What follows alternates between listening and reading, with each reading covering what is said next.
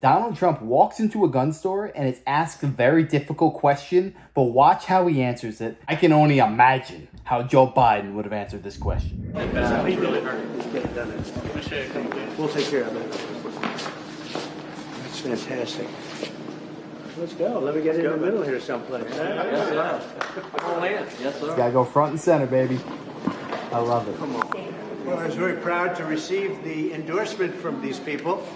These are the most powerful people in the great state of South Carolina. I think I can say that very sincerely. They're fantastic people. And we have about a 44 point lead now. And we have a senator and we have a governor. And uh, we still have that kind of a lead, right? It's nobody even close.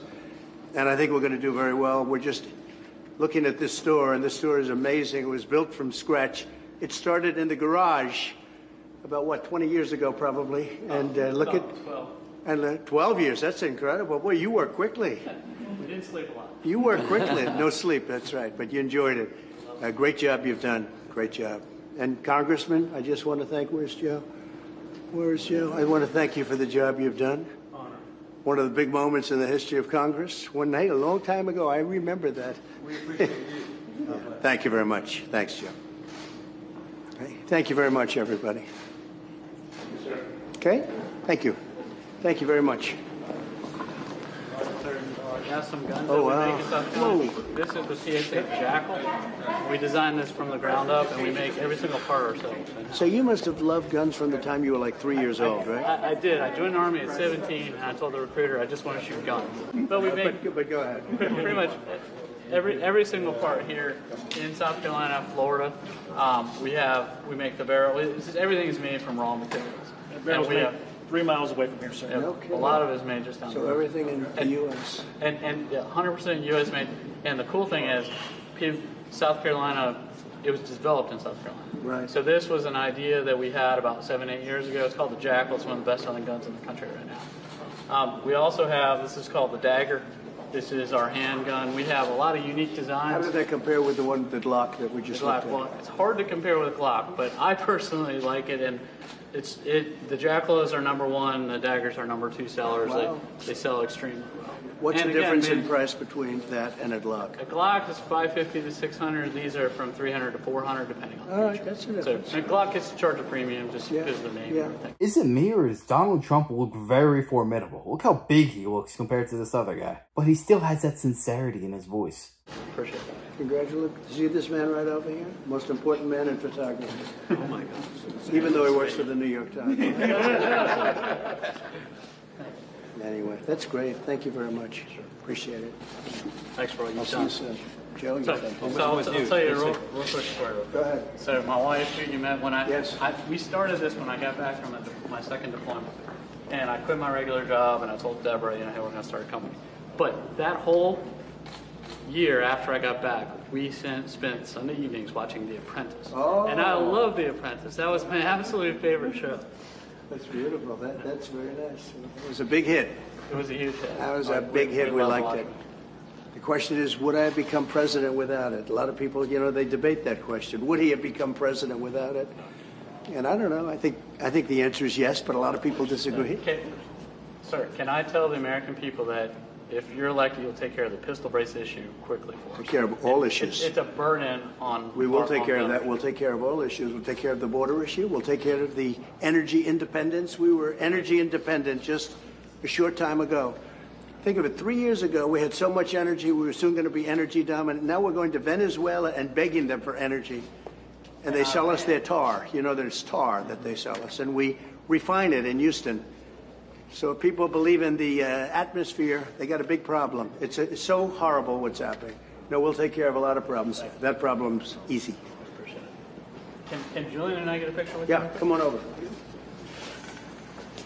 That's something. And the Attorney General, too. No, no, let, let them, no, let them, uh, let them. So Trump turned what could have been a difficult situation to his advantage. When the store owner asked him about this pistol brace regulation that he wanted looked at and he wanted amended, um, Trump gives a direct answer and answers the guy's question and says, "We will look into that. We'll we'll solve that problem."